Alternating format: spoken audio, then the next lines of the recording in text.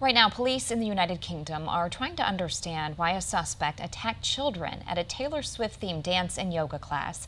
The attack killed three girls. One was six, one was seven, and the third was nine. Eight other children and two adults also got hurt and are in the hospital. Authorities think the adults were trying to protect the children. The suspect is a 17 year old boy. He's also critically hurt. Tonight, he's charged with murder and attempted murder.